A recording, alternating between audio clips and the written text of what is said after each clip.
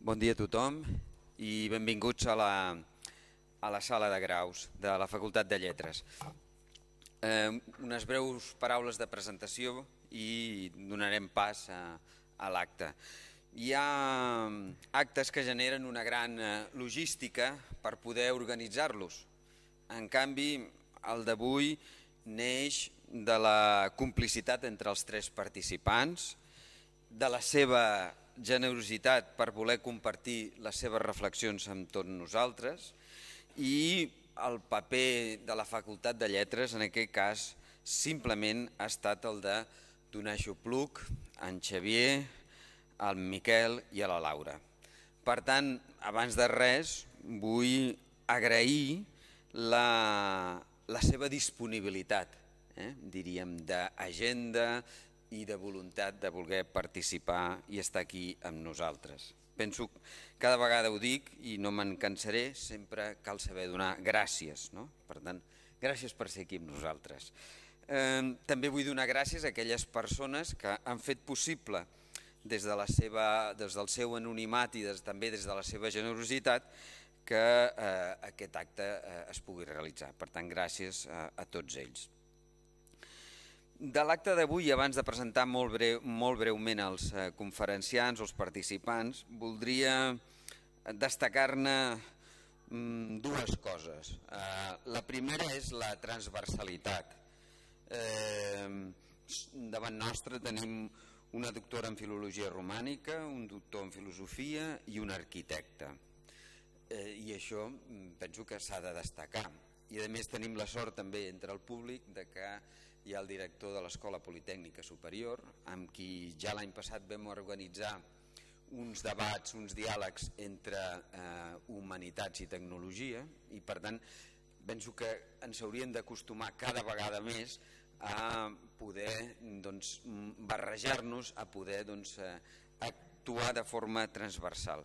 En el fons, mm, en Josep Maria Terricabres, professor ja jubilat d'aquesta casa, i deien un en, en un debat sobre el futur de les humanitats que no té sentit diferenciar entre les lletres i les ciències i que per tant cada, en el fons el que hi ha és bona ciència, bona feina i cada vegada són més científics que escriuen eh, i eh, literats que treballen com no pot ser d'una altra manera amb aquest mètode científic.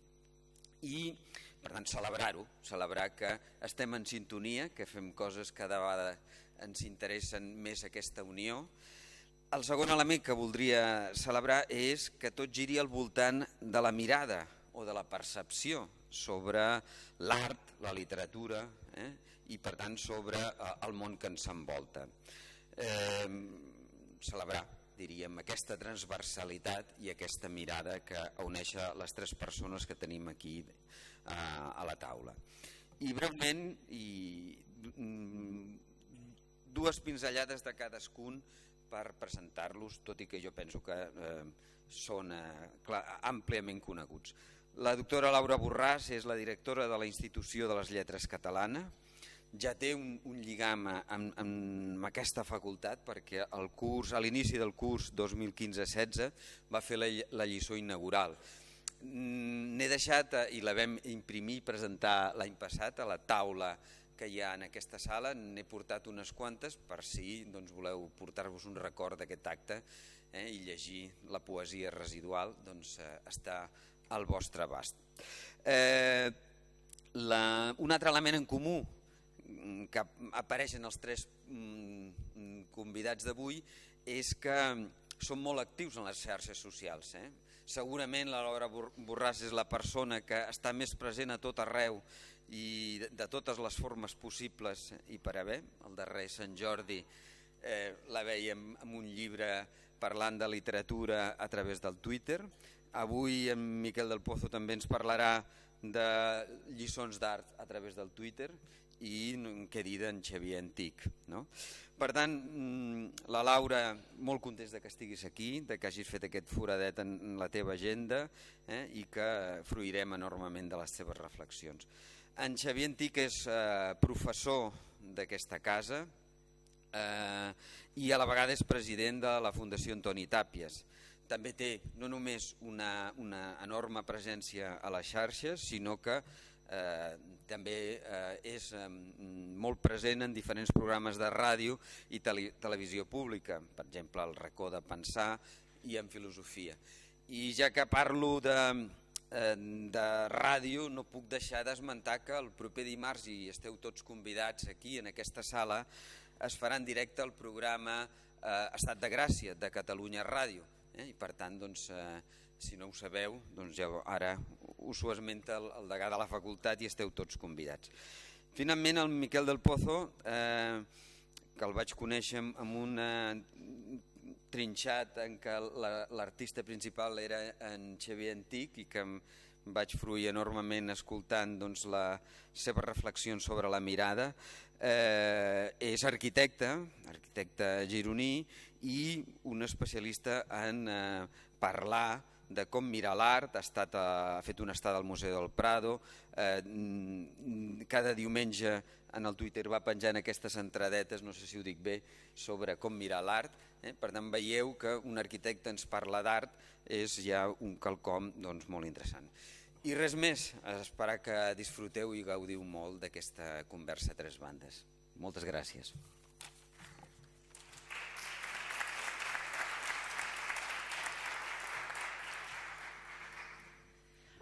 Bon dia.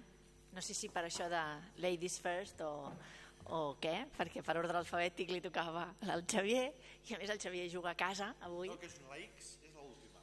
Ah, molt bé, ara fem pel nom? Molt bé, perfecte. Bé, el cas és que m'han demanat que, que una mica expliqués eh, la raó per la qual avui estem aquí perquè és un plaer sempre tornar a la Universitat de Girona. Jo agraeixo moltíssim les paraules del Degà, agraeixo la complicitat que sempre la Universitat de Girona té per intentar acollir eh, experiències en el món de, del coneixement que són certament singulars, com aquesta. Això d'avui és un experiment, ja els hi diem d'entrada.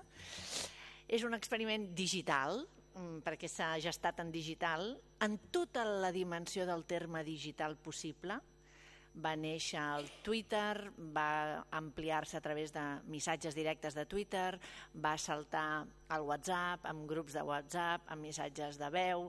Eh, em sembla que el correu electrònic és una cosa antidiluviana que no hem fet servir, però per tota la resta um, hem, hem, i la complicitat que, que existeix entre nosaltres, que és una complicitat d'altra banda nascuda també de, de, del coneixement o de la relació intel·lectual que haguem pogut desenvolupar i que ens ha portat a voler-nos conèixer i a voler trebar una relació més personal, però eh, ens hem conegut a les xarxes, podríem dir tots tres, i en acabat, hem acabat tenint doncs, eh, relacions eh, personals.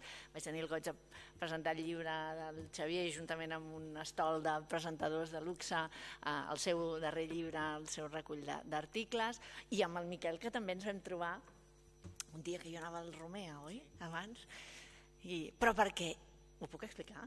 És que això està, estem fora de guió totalment, eh? I demanaré que no computi en el meu temps que tinc assignat, perquè això és, és com una prèvia, un striptease una mica de, de, de la nostra relació. Però un dia vaig rebre un missatge directe del Miquel, del Miquel que em deia em sembla que t'he vist pel carrer Dic, home, i per què no m'atures? Si et sembla que m'has vist pel carrer, per què no m'atures? I dic, bueno, la primera vegada, si de cas ja ho faré. I la primera vegada ja va ser una aturada pactada, pactada no? I, ens hem, ens hem, eh, I va ser una tarda fascinant, vam estar conversant sobre les coses que ens interessen i, I per això és bonic que ens haguem trobat, diríem, a partir del que eh, nosaltres emetem a les xarxes, que són, com sabeu, espais molt controvertits, que són tecnologies que moltes vegades són molt fàcilment criticables, moltes vegades també criticables des d'una certa eh, impostura intel·lectual, si em permeten dir-ho així, o des d'una certa mandra. Eh, moltes vegades ho critica gent que no coneix les xarxes no sap com fer-les servir, i aleshores a vegades és més fàcil intentar conèixer eh, com poden funcionar i com, evidentment, són sempre eines que nosaltres fem servir en funció dels nostres interessos. Jo crec que tenim tres maneres de ser a les xarxes diferents, complementàries, i quan al damunt tens una fada padrina com la Meius Ferrer, que s'havia d'esmentar, que és la principal culpable de que avui siguem aquí, um, que haguem fet tots l'esforç per poder, per poder trobar-nos, doncs la Meius va dir, escolta, fem-ho això, hem de, hem de convoiar-ho, de... la gent li agradaria molt que vosaltres eh, us trobéssiu i parléssiu cadascú de la seva disciplina perquè intentem, com que vivim amb entusiasme les nostres disciplines i projectem aquest nostre entusiasme en, en cadascun dels espais on, on nosaltres duem a terme les nostres respectives feines professionals, diu, seria bonic doncs, poder-vos aglutinar. I això segur que molta gent ho voldria veure. Bueno, doncs de moment, sou tots aquí vosaltres, tota la gent que volia veure, has fet possible que, que això a, a, ara tingués lloc. I a més a més més ho estem enregistrant, em fa l'efecte, no podia ser de cap altra manera, amb la Meius vinculat al tema, i hem fet també una prèvia convidant a la gent a que ens fes preguntes o que fes suggeriments o que hi hagués una possibilitat com de, de participació en aquesta fuga a tres veus, de, per, on parlarem de literatura, d'art i de filosofia, um, però que jo ja veieu que en el, en el, en el suport audiovisual que jo faré servir ja he posat un, un, un titular que de fet és del Miquel, perquè va dir, bueno, potser sóc una mica romàntic, però això que hem de fer és una declaració d'amor a les humanitats. I vaig dir, compro, immediatament, perquè efectivament és una declaració d'amor. Per tant, ja estem fent, no? estem donant molta informació uh, abans de, de començar. És interessant si un busca el diccionari que diu què vol dir fuga, perquè tenim fugida, vostès encara estan a temps de fer-ho, és la primera excepció que dona el diccionari DIEC, encara poden fugir abans de que comencem aquest experiment. La segona excepció diu eh, fet d'escapar-se un fluid per una esquerda i un forat, no, espero que no se n'escapi cap de fluids. Eh, la tercera excepció, que és la que nosaltres volíem que ens, ens emplacés, és l'excepció musical.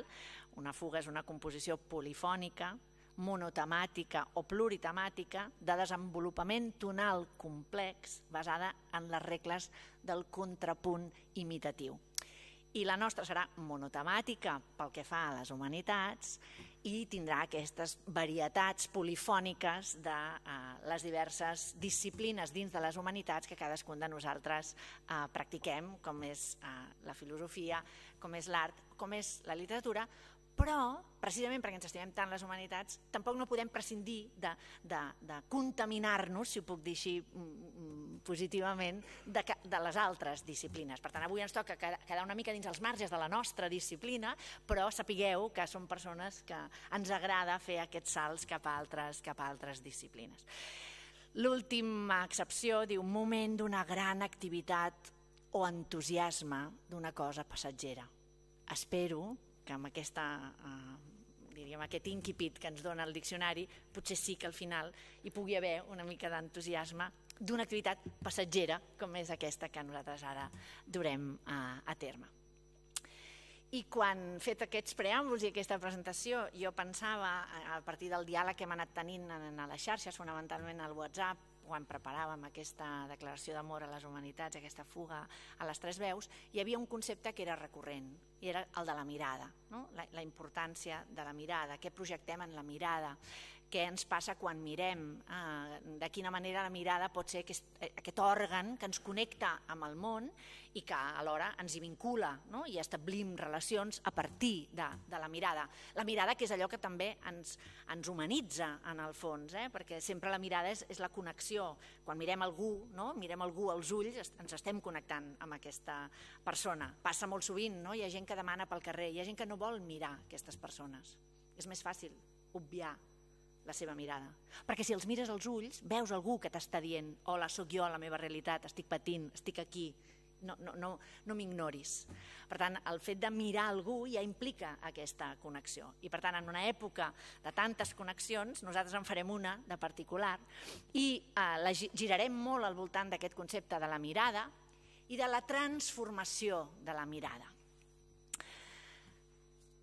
El, el Miquel ens va dir m'agradaria molt poder reflexionar a partir d'un un text de, de Gombrich, un dels historiadors de l'art, que jo crec que, que ens ha il·luminat més a partir de compartir la seva mirada sobre els, uh, els objectes, els quadres, els objectes artístics als quals ell, sobre els quals ell la projecta, que uh, en, una, en, en un d'aquests fragments diu els quadres ens ensenyen a veure que és, ens ensenyen a veure-hi, eh? de fet, ens ensenyen a veure el món, a veure-hi més, eh? per tant, en aquesta doble dimensió, i diu, ell mateix respon dient sí, perquè quan passem una o dues hores en un museu, quan sortim, el món s'ha transformat.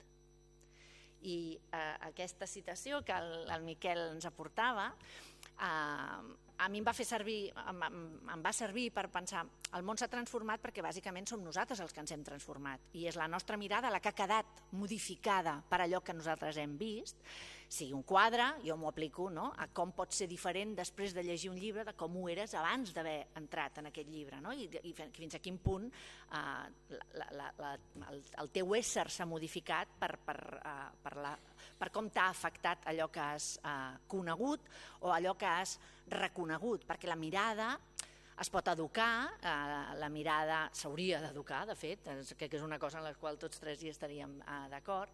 I jo us he ficat aquí dues imatges, òbviament una és evidentment molt fàcilment reconeixible del petit príncep, no?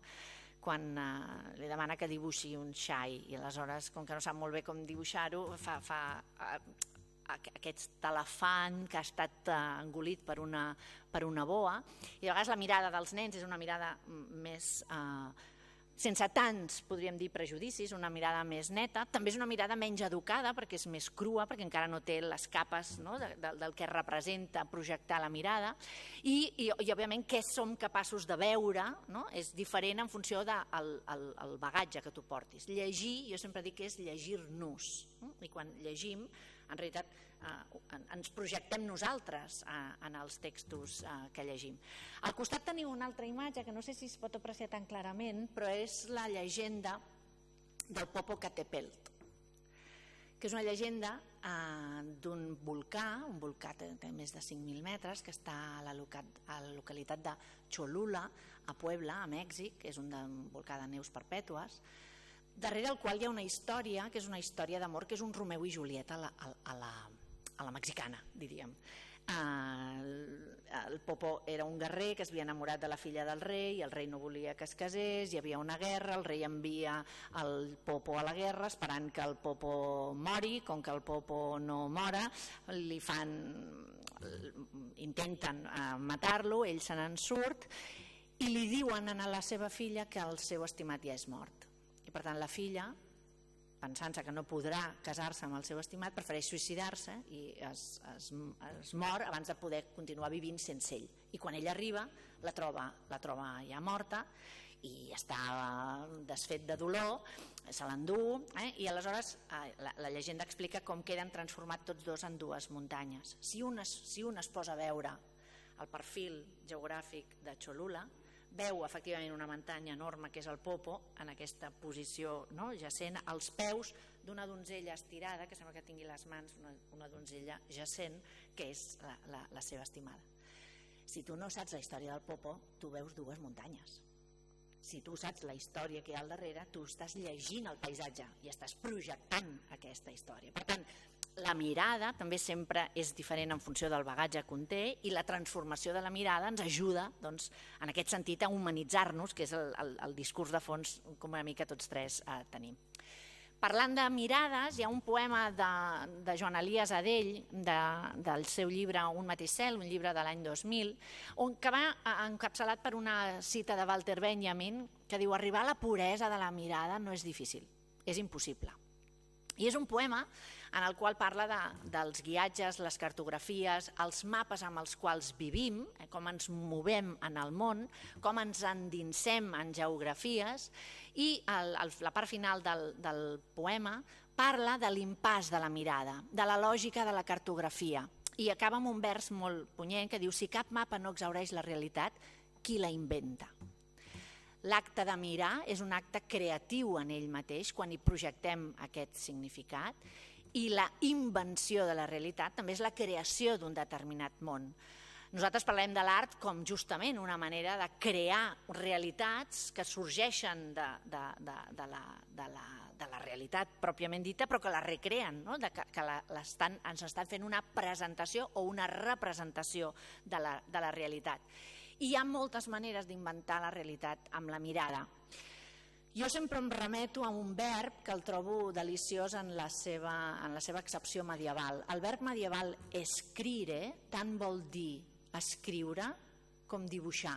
L'escriptura no deixaven de ser a l'inici doncs, marques, traços externalitzats, no? en què nosaltres treiem coses que guardàvem al nostre disc dur i les, les externalitzàvem a fora. Entenc el text d'una manera àmplia, com una inscripció, com un traç, com un gest per ser mirat, per ser llegit, per ser recordat, per ser memoritzat, per ser entès, posin tots els verbs que vulguin.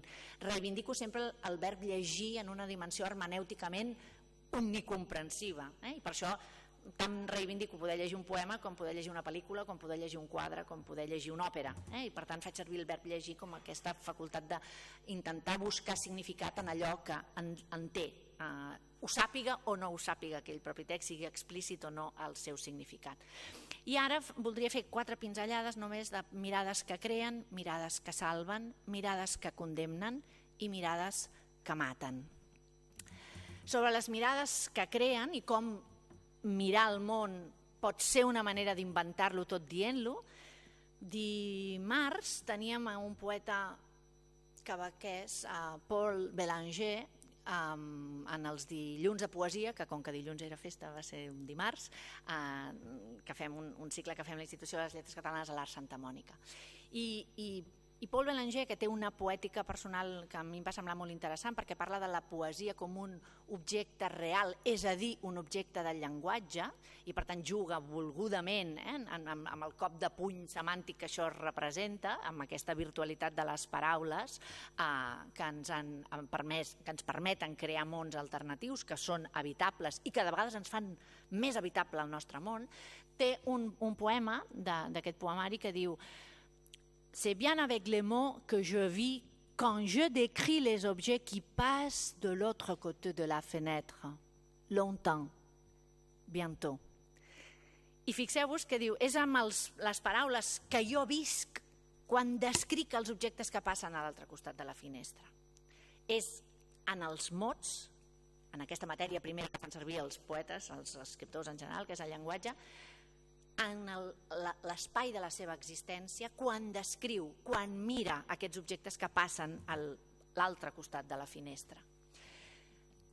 Miquel Martipol, al quadern de vacances, té aquest poema on ens parla de com la mirada és el que el salva, eh? parlant de mirades que salven i de com es pot viure en la mirada. Salveu-me els ulls quan ja no em quedi res.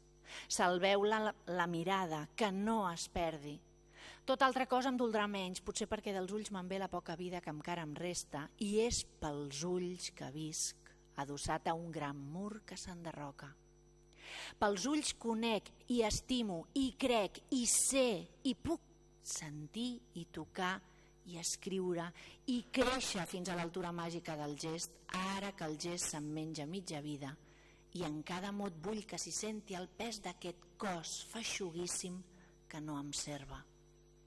Pels ulls em reconec i em palpo tot i vaig i vinc per dins l'arquitectura de mi mateix en un esforç tenaç de percaçar la vida i exaurir-la. Pels ulls puc sortir en fora i veure llum i engolir món i estimar les donzelles, desfar-me el vent i aquietar la mar, colrar-me amb el sol i amarar-me de pluja. Salveu-me els ulls quan ja no em quedi res. Viuré, bo i mort, només en la mirada. Fixeu-vos que parlàvem de les mirades que creen, no? abans amb el poeta que crea objectes que veu i que descriuen les paraules, mirades que salven, el vers final, no? viuré bo i mort, només seré capaç de continuar vivint en allò que la malaltia no em podrà prendre. Ell està parlant des d'una circumstància personal concreta i la malaltia no li, no li podrà prendre aquesta facultat de viure a través dels ulls, d'aquesta connexió de la mirada. Hi ha mirades que també condemnen. Hi ha un fragment del Jo confesso, del Jaume Cabré, en el qual, eh, fixeu-vos, eh, mm, bueno, és, no descriure la trama en la qual passa, eh, però hi ha un moment en què un, un oficial nazi eh, té una de les internes d'un dels camps de concentració que li fa la neteja de casa seva i, eh, i, i ell la viola. I fixeu-vos el fragment aquest, eh, com, com, què, què ens diu. Com que ella, la interna número 615.428, no va reaccionar, més amb impaciència que amb brutalitat, la va empènyer cap a la butaca, li va estripar la roba i li va caronar els ulls, la cara, la mirada tan dolça. Quan la va penetrar, extasiat per aquella bellesa ferèstega, nascuda de la debilitat i l'anorreament, va saber que les 616.428 se li havia encastat a la pell per sempre.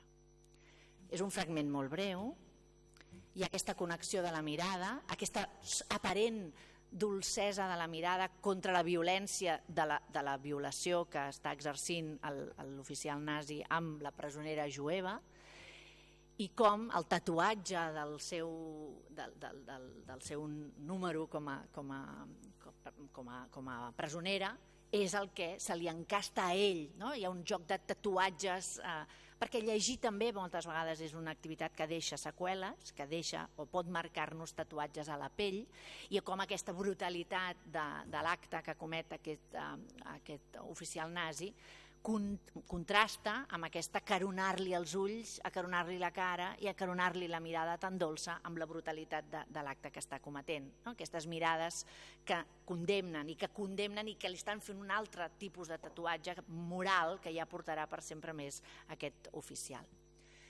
Per tancar amb les mirades que maten, jo soc molt flobertiana, ja ho faig també aquí com a declaració de, de principis. Ara que el Josep esmentava allò del llibre de la literatura en un tuit, el Francesc Parcerisses el dia de la presentació em va dir Laura, ja saps a quin és el que has fet més tuits? En el llibre, eh? I dic, no, no, no ho he passat a comptar. Diu Flaubert. Dic, ah, d'acord. No, no ho tenia comptat, però ho assumeixo, ho accepto. I un dels que feia, eh, i de fet us l'he posat tres aquí, és sobre l'Herodias, L'Herodies és el tercer dels tres contes. Tres contes que són tres uh, mirades diferents, que són el que el van salvar d'una aturada uh, creativa quan estava escrivint Flaubert, Bovary, Pécuchet.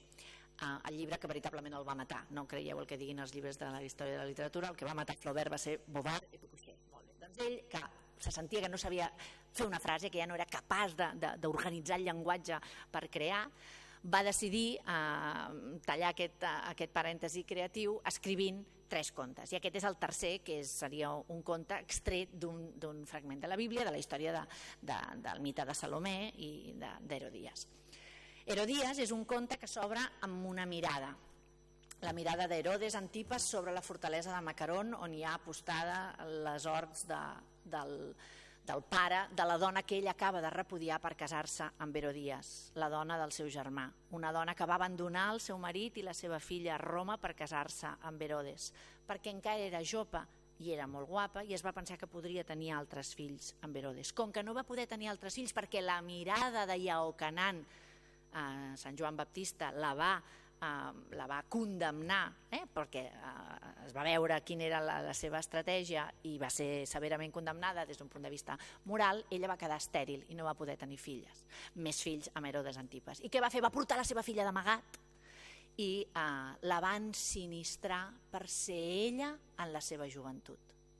La qual cosa és una operació mm, d'una perversió moral absoluta i um, el conte s'obre amb aquesta mirada d'Herodes sobre la problemàtica política que té i s'obre amb la mirada de tots dos com una lluita de titans que es miren als ulls i es miren d'una manera ferotge. Aquí hi haurà una lluita. Herodes no vol matar a Sant Joan Baptista perquè el considera un home sant, el té empresonat però Herodias vol que mori perquè l'ha deixat a ell, a ella estèril eh? i representa un desafiament a la seva autoritat. Jo aquí us he posat els tres tuits del llibre, dels tuits, eh? Els tres contes, l'Herodias s'obre amb la mirada d'Herodes, marit d'Herodias, i té en la mirada un dels leitmotivs. Hi ha mirades terribles, temibles, voluptuoses i assassines. Sabeu la història d'Herodes i d'Herodies, és a dir, el mite de Salomé, quan Herodies ensinistra la seva filla, la fa ser ella abans en la seva joventut. La, li fa ballar la dansa dels set vels, al qual ella omple de desig a Herodes i a tota la població que està allà reunida en la sala capitular on es celebra el seu aniversari i aquesta mirada que genera aquest desig finalment serà el salt conduït per la venjança d'Herodies que eh, quan Herodes li digui deien demana'm el que vulguis, t'ho donaré tot, què demana aquesta nena? Que és una nena en Flaubert, més una nena papizota, zopes i fazols, i diu, ah, què demano, què demano? Se n'oblida del que demana, i tot d'una, quan li ve al cap, diu, ah sí, al cap de Iaucanan, que encara és més terrible que una nena demani una cosa amb safata de plata i ara aquesta mirada que finalment acabarà sent el, el, la, la mort, acabarà eh, comportant la mort de, de Iaocanan, que és Sant Joan Baptista. Quan la bellesa d'una dona ja no proporciona poder, la manca d'escrúpols i la intel·ligència despietada fan que una mare ensinistri una filla per matar ballant, eh? perquè l'acte és també on es concentren totes les mirades. I aquesta història és una pàgina d'història sagrada revisitada desig, estratègia i poder. Religió, temor i càstig en una versió flobertiana i cruel de Salomé. El moment culminant del ball em porta a un dia que jo estava explicant això a la classe de filologia a dos quarts de tres de la tarda, la pitjor hora de totes per poder fer classe. Tothom està fent la digestió, professor incorporat, i és una hora terrible que has de fer mans i mànigues. I, i a mi m'estaven mirant, era cap al final de curs, i em mirava amb una cara com dient Laura, si tu ens ho expliques ens ho creiem, però ara no ens demanis que veiem això. I jo deia, a veure, per favor, és Flaubert. Què vol dir que ara no estigueu aquí tots concentrats? Vaig tancar el llibre, jo estava llegint-los del llibre, vaig obrir l'ordinador i els vaig dir, però vosaltres sabeu qui és, en el moment culminant de la dansa, eh? Però sabeu qui és Salomé? Jo vaig entrar, vaig eh, fer una captura de Google d'imatges i vaig posar-los un collage d'imatges. Ja com que hi havia activitat audiovisual ja tenia la meitat de la classe amb mi. Ah, doncs mira, vitralls, ah, doncs capitells, ah, dibuixos, fins i tot la Norma Desmond fent, la Gloria Swanson fent de Norma Desmond a Sunset Boulevard. Llavors els dic, però a veure, la Rita Hayworth ha fet de Salomé, vosaltres sabeu el que és això, i els hi poso l'escena, clar, la Rita Hayworth. Després els hi vaig pensar, ara els hi posaràs una cosa així, ha estat portada a totes les disciplines artístiques, ara sentirem la Salomé i vaig buscar un muntatge contemporani, va sortir Salomé Montserrat Cavaller. No era l'associació que jo buscava, no era, ja us ho dic ara. Però després em vaig trobar una de contemporània on una, una soprano anava traient els vels i ja, ja els tenia tots amb mi, ja els tenia tots. I llavors vaig dir, ah no, és que Flaubert no té ni la música d'Strauss, ni té els capitells, ni té la Rita Hayworth aquí ballant. I ara veurem com balla Salomé. I aleshores va, vaig posar-los a llegir aquest fragment de com balla, com persegueix un déu, com ens descriu els moviments, Flaubert, i dic, Flaubert no té tot això, i tanmateix, ara veurem, a Herodies, a Salomé, ballar, i tots miraven com si hi hagués un holograma en el llibre. No? A vegades la tecnologia també combina, no? i llavors llegint el llibre, perquè això és l'estil, no? la literatura mai és el què, sempre és el com, eh? i la força del com és el que ens hem de, hem de poder uh, valorar. Fins aquí la meva mm, aportació sobre mirades que salven, mirades que maten, perquè no ho faré, no ho faré, dic que ho faria però no ho faré, tranquils. Um, és que he llegit aquest llibre mentre pujava al cotxe i és un llibre que m'ha portat aquest matí, l'últim Premi Ciutat de Palma de Poesia. I és un llibre que els recomano molt, jo ja l'he devorat i ja el tinc marcat i llegit, que es diu La lentitud de la mirada. I és preciós el llibre perquè parla justament d'aquesta lentitud de la mirada i el poema que l'obra, que es titula, el títol que dona, és el poema que dona títol al llibre, parla de com um, els llibres sempre fixen uns instants que fan el món llegible. L'art, no? en totes les seves formes, però la literatura fixa instants que després ens fan llegible el món. En un altre moment parla de poetes i de pintors que són dibuixants de rostres que recullen la llum de la mirada que els mirava. I això ja em sembla un joc meta, meta que a nosaltres ens agrada molt, aquesta cosa així, tipus Malmström, que no té ni, ni sortida possible. I finalment parla en un altre poema de la mirada que ens mira. Aquest joc de mirades, la mirada que ens mira, ens diu arriscar-se és mirar la mirada que ens mira. arriscar-se és el que estem fent nosaltres. Jo he fet la meva primera incursió i ara no sé qui li tocava, li cedeixo la paraula al Miquel. Moltes gràcies.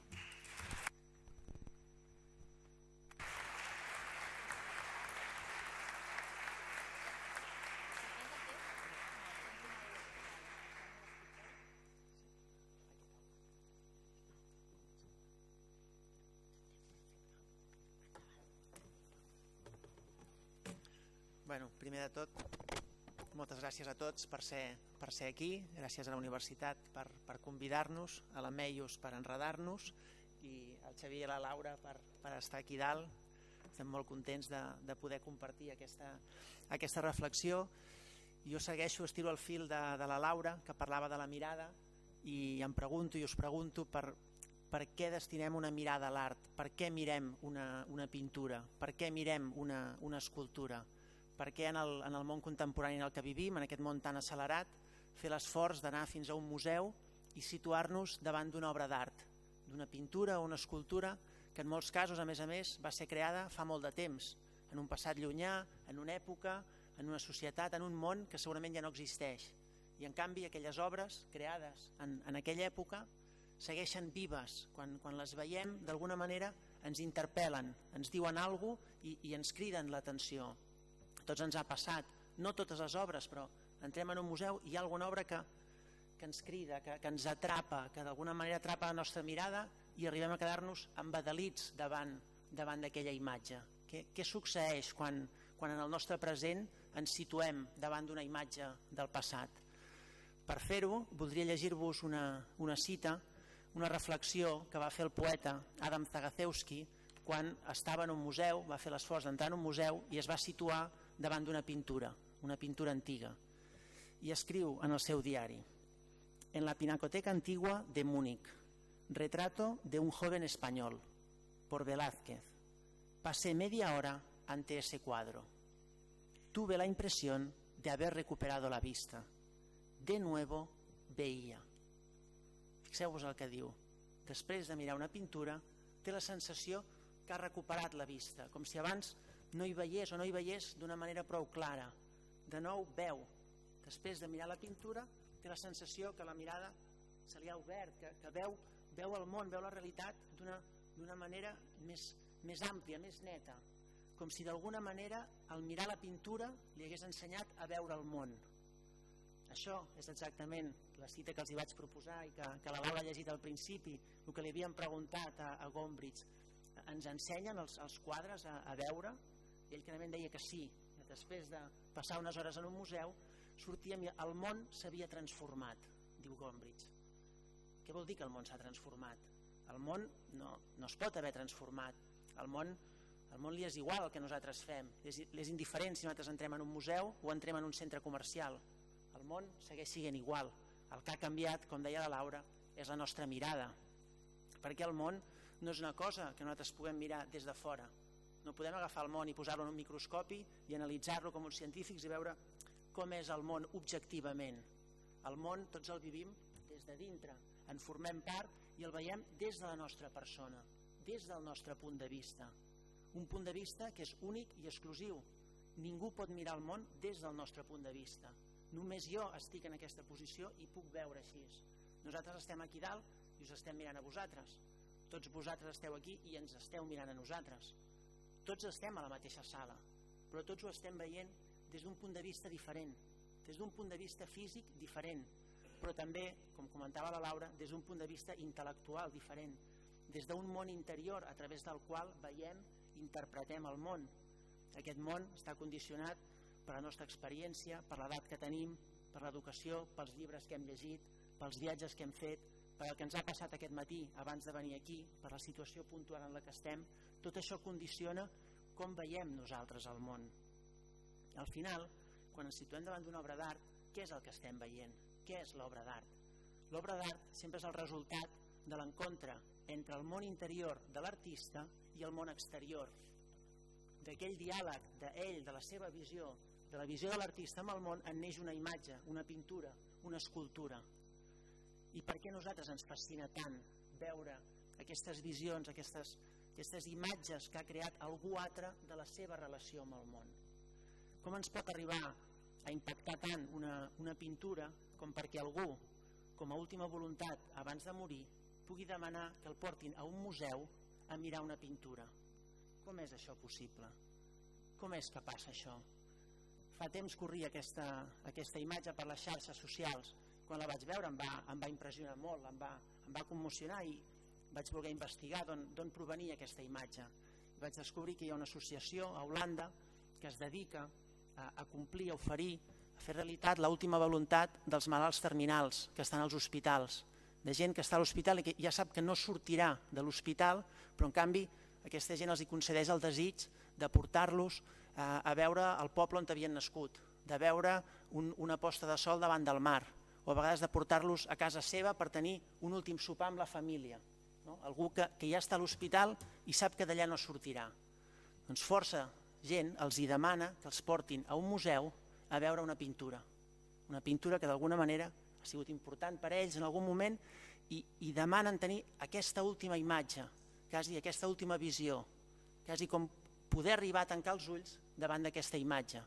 Em, em penso i em ve al cap, i amb la Laura n'hem parlat d'això virtualment algunes vegades a través de Twitter, d'aquella frase del Goethe, atura't instant, ets tan vell, tan vell que ja em puc morir, ja, ja puc, puc tancar els ulls. I com si l'obra d'art ens pogués arribar a oferir aquesta imatge de plenitud. Us deia abans que aquesta aquesta idea, jo fins, fins a veure aquesta imatge no m'ho havia plantejat així, però ara fa uns mesos estava al Museu del Prado i, i estava mirant les obres, les pintures que hi ha allà, i estava llegint sobre elles, i en un dels llibres vaig trobar que explicava que Felip II, abans de morir, va demanar que li portessin a la seva habitació de, de l'Escorial alguns dels quadres que tenia a la seva col·lecció. Perquè volia tenir davant del llit algunes de les pintures abans de morir. I una d'elles era aquesta, el, el jardí de les delícies de, del Bosco.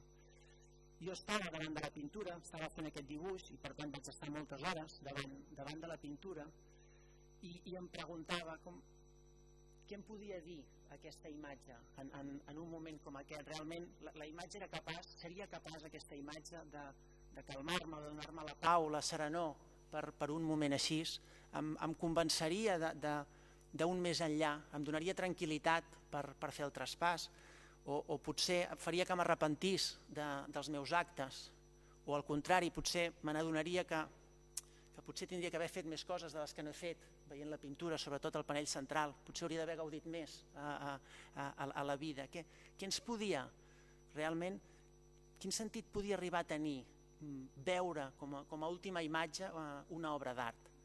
i com estem en aquest món tecnològic i, i estem present a, a, a les xarxes i jo no, no parava de donar-li voltes a aquesta idea, vaig obrir la pregunta a, a Twitter, vaig, vaig passar allò que jo estava pensant i, i ho vaig preguntar a, a les xarxes directament, si, si poguessis escollir un quadre per, per mirar abans de morir, quin, quin seria el quadre?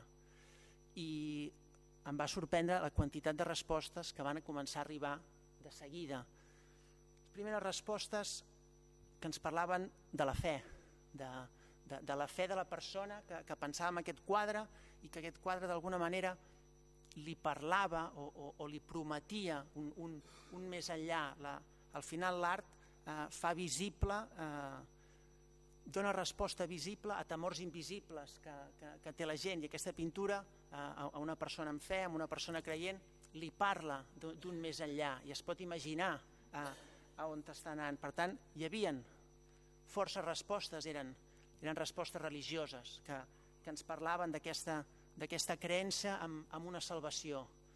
Però també hi havia imatges que, que no tenien res a veure, com per exemple aquest Hopper, que semblava que ens parlés més d'una introspecció personal, d'un moment d'un mateix, de pensar què faig amb la vida, què he fet amb la vida, quin, quin sentit pot tenir a, a, allò que estem fent o records de, de moments d'infantesa, d'anar-nos pensant, revivint aquell moment de, de petits corrent i xisclant a, a la platja, al sol, amb, amb l'aigua, no?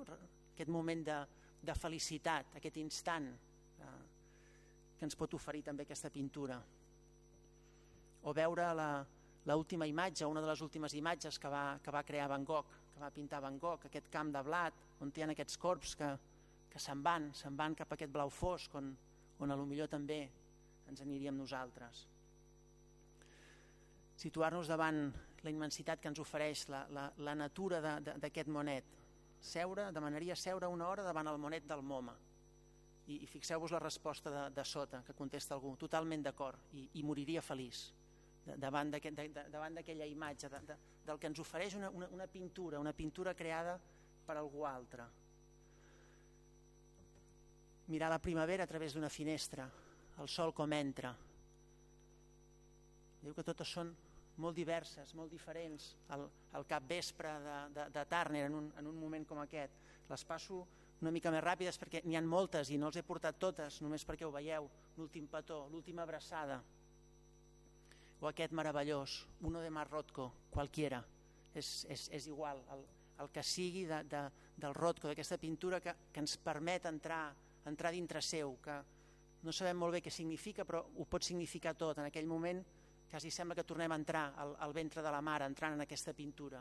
Tothom pot fer la lectura que en vulgui, però no sembla una mala opció. L'interrogant que ens presenta el, aquest gos pintat per Goya. Les passo ràpid perquè no acabaríem. De nou finestres, Kandinsky, un Tàpies, una capella laica, diuen. També seria una, una bona mirada. L'últim abraç de, del pare al fill. O per contradicció la vida de Picasso, ens deien aquí. Diferents imatges.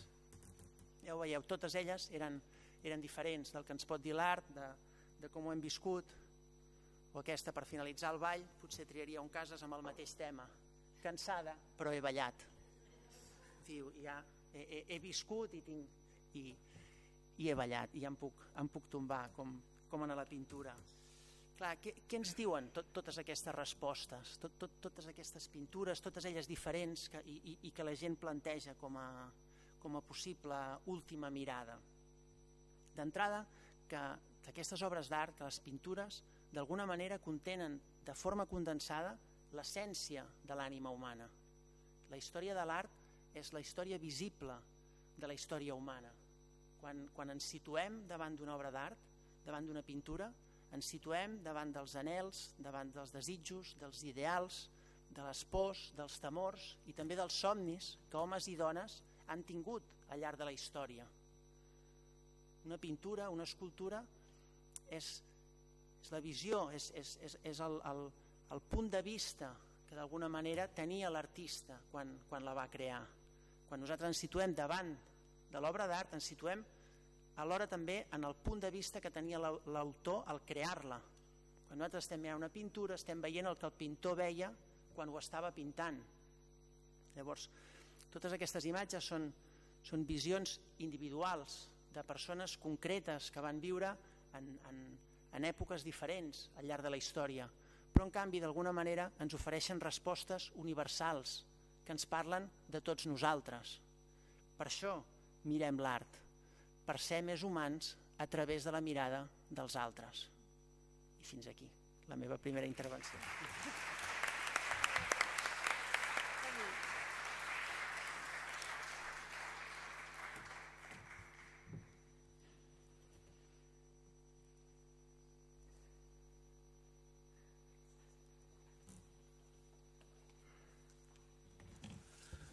Bon dia, no et preocupis, no et preocupis. Passant com... Podrem moltes gràcies per, per ser aquí. Aquesta fuga nostra només té sentit perquè hi sou vosaltres, perquè, com ja ha explicat la Laura, havia començat molt abans de començar pròpiament avui, no? encara que tot estava abocat per poder compartir amb vosaltres algunes de les moltes coses que, que ja han sortit. Bueno, per mi és un plaer immens, deixeu-m'ho dir, eh, compartir taula amb ells, digar moltes gràcies, Meius, la gran embolicadora, moltes gràcies també, i sobretot a vosaltres, com us deia, per, per, estar, per estar aquí. Afegiré una tercera veu a aquestes dues eh, que ja heu sentit en aquesta fuga polifònica i només espero que aquesta tercera veu no sigui dissonant ni cacofònica. Eh? Ja sabeu allò que va escriure aquell animal, però grandíssim escritor, que va ser Thomas Berhard, que va escriure que eh, cadascú, cada individu mm, per si sol és un virtuós del seu instrument. I és maco, fins i tot sobta que ho digués Thomas Berhard, però aquí ve Berhard, perquè afegia tots junts una cacofonia insuportable. Jo crec que tots els que ens dediquem a les humanitats, m'atreviria a dir, estem convençuts que és possible aplegar moltes veus sense que sigui una cacofonia insuportable. I una mica l'experiment d'avui tenia a veure una mica amb això, amb intentar crear de forma una mica experimental una polifonia articulada al voltant d'un tema amb veus diferents que són injuntes. Veus diferents que són injuntes per a Johann Sebastian Bach això era la música, veus diferents que sonin juntes. Per a mi, més que la música, que també és quasi bé com un model de socialitat, o un model de societat per la qual o a la qual val la pena aspirar, allà on es produeixi aquesta diferència, però també la possibilitat de que les diferències sonin, sonin juntes i no siguin, com temia Thomas Berger, era austríac, una cacofonia insuportable. Per què les humanitats? Deixeu-me refer la pregunta eh? i faré un, un pas enrere, no un pas al costat que està tan de moda, però un pas enrere per obrir una mica el, el focus més, no? que era una mica el repte i per tant me la refai. Moltes vegades a mi m'agrada pensar, i des de la filosofia és quasi un tòpic, una bona forma de pensar més que ajustar les respostes és afinar les preguntes, no? I per tant, de vegades això amb els filòsofs acaba passant, no? I que, que ens fem tantes preguntes que al final quan hauríem de donar alguna resposta ja acabem una mica exaurits. Jo ho mataré només en un pantallasso no? i per tant se quedarà només aquí. Però per què les humanitats? Per què l'art? La literatura, la música, el cinema, el teatre, la filosofia, la història, la geografia, la filologia, totes aquestes coses amb les quals sense entrar en, en matisacions absolutament inoportunes per una sessió com avui, apleguem dintre de tot això que en diem humanitats. I preguntar-nos per què, o preguntar-me jo per què, és preguntar-me per què són necessàries, no? per què ens calen, per què les hem de preservar, cosa que d'alguna manera fem en llocs, cases com aquestes, no? o amb activitats com les que despleguem. Per què les hem de preservar i no només preservar-les, sinó més compartir-les? Per què? On està el valor que tenen? Que valgui la pena de posar-les a la mà d'uns altres i compartir-les i per què difondre-les? I per què ens defineixen, que està al darrere de totes les coses que tan eh, brillantment han expressat la Laura i el Miquel, per què ens defineixen totes aquestes coses? i perquè ens defineixen precisament en allò que més pròpiament som, eh? i per tant no accidentalment com una cosa de la que en podríem prescindir. I també no només en allò que som, sinó en allò al que podem aspirar, o jo m'atreviria a dir allò al que hauríem d'aspirar, no? però en tot cas allò al que podem aspirar. O en tot cas, eh, podem fer una mica l'estriptís personal, per què no ens en podem estar de totes aquestes coses? Eh? Què ens porta contínuament? Anar a un museu, a agafar un llibre, anar a veure una pel·lícula, anar a un concert... Per què no ens en podem estar? Mai, ni un dia, ni un minut, i voldríem més, i som conscients de que per molt temps que tinguem no arribarem ni a rascar una petitíssima part de totes aquestes coses de les que no ens en podem estar. Eh? Per tant, una mica amb aquesta insatisfacció també tan fàustica no? de que sempre hi ha alguna cosa més enllà de totes aquestes coses de les que no ens en podem, de les que no ens en podem estar. Intentaré donar tres apunts o tres intents de resposta, eh? que tots tres reprenen d'alguna manera coses que tant o mica com la Laura han plantejat. Però abans faré una mini prèvia per obrir focus eh? o per dir des d'on d'alguna manera eh, parlo. He acabat de llegir aquest cap de setmana aprofitant que per sort ara està tan de moda Carson McCullers, un llibre Frankie Adams, meravellosament traduït al català, en el qual Frankie Adams, que és la protagonista de la novel·la, una adolescent de 12 anys, en tot solada, obsessionada només per les seves coses i pel seu món, li diu a eh, un altre dels personatges de la novel·la, escolta, fa estona que et volia dir una cosa, a tu no et sembla, parla una nena de 12 anys, eh? a tu no et sembla estrany que jo sigui jo? i que tu siguis tu? Jo sóc la Jasmine Adams i tu ets la Berenice Sadie Brown i ens podem mirar i tocar-nos l'una a l'altra i estar juntes molts anys a la mateixa habitació, però jo sóc sempre jo i tu ets sempre tu. I jo mai no podré deixar de ser jo, ni tu podràs mai deixar de ser tu. No hi havies pensat mai? I afegeix, i no ho trobes estrany? Efectivament, la Berenice, que és una dona gran, negra, serventa de la seva casa, estem a Georgia, li contesta refent d'alguna manera la mateixa idea. Li diu, efectivament, tots estem atrapats d'alguna manera. Naixem d'una manera o d'una altra i no sabem per què. Jo vaig néixer sent la Berenice. Tu vas néixer sent la Frankie. En John Henry, el tercer personatge de la novel·la, va néixer sent en John Henry. I potser voldríem sortir i alliberar-nos dels nostres cossos. Però fem el que fem, continuem, fixeu-vos, atrapats jo sóc jo, tu ets tu i ell és ell. Cadascú de nosaltres està atrapat tot sol dins del seu cos. Em sembla una bona forma d'arrencar per posar-li un marc a allò que justament jo volia plantejar, que és aquest en tot solament subjectiu d'un personatge tancat amb ell mateix, cadascú amb el seu jo, des d'aquesta convicció expressada per una nena de 12 anys de que cadascú és qui és i res més. I que d'aquí no en podem sortir com si cada personalitat configurés una mena d'esfera tancada eh, la que Leibniz, el filòsof il·lustrant, n'hi va posar nom, una mònada sense finestres al món, de tal manera que si jo sóc jo i tu ets tu, eh, màxim que podríem aspirar és a jo i tu i ell o ella estar junts sense que hi haguessin excessius conflictes.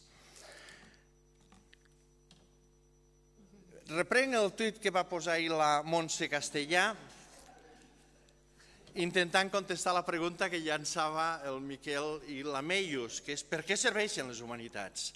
I deia la Montse, que la teníem a primera fila, les humanitats mos serveixen per saber qui som realment i aproximar-nos a la millor versió de nosaltres mateixos com a humans. Col·laboració a la fuga a tres veus. Per saber qui som, és una molt bona resposta, eh? per entrar en el més interior i en la millor versió, podríem dir-ne, de nosaltres, com a humans. I per tant, ja podrien servir el benentès, que segurament molts compartiríem, que les humanitats permeten aquest viatge a l'interior, podríem dir-ne, radical de la subjectivitat, no? allí on justament es defineix la nostra humanitat. El Miquel ho deia a la seva manera, quan parlava de les pintures, que contenen de forma condensada l'ànima humana, no? com que efectivament i el mateix de les pintures ho podríem dir dels llibres, ho podríem dir de tantes altres coses. No? Jo en donaré una resposta al perquè de les humanitats, la primera aparentment diferent, però no fons complementària, eh, només ho sembla que sigui diferent. Perquè per què les humanitats? Al meu entendre, en primera instància, per tot el contrari, per sortir de nosaltres mateixos, per sortir d'aquesta cosa tan avorrida que és cada un, mm? i per sortir d'aquesta cosa tan pobra, en el fons, de partida i d'arrencada que som cadascú de nosaltres. Tenim la mirada com a punt de al voltant del qual giren d'alguna manera totes aquestes modulacions i aquestes fugues. I la mirada és la primera forma a través de les quals i dels sentits precisament ens posen en contacte amb el món. Aristòtil, en un passatge que jo crec que hauríem de repetir cada dia amb el que inaugurava la metafísica d'Aristòtil, deia tots els éssers humans desitgen per naturalesa saber. I afegia, així ho indica l'amor als sentits, perquè al marge de la seva utilitat són estimats per si mateixos. I afegia, i el que més de tots, la vista. Aquesta vista que d'alguna manera ens permet justament sortir de nosaltres, perquè la vista és eh, de tots els sentits, precisament perquè actua a distància, com també la uïda i en d'altres mesures els altres, ens permet mm, sortir fora de nosaltres i accedir a aquelles coses que si no fos a través de la vista, com a través de la resta dels sentits, no arribarien fins a nosaltres. El que Aristòtil diu de la mirada parlant de la mirada, com unes finestres obertes al món, en general ho podríem dir de tots els sentits.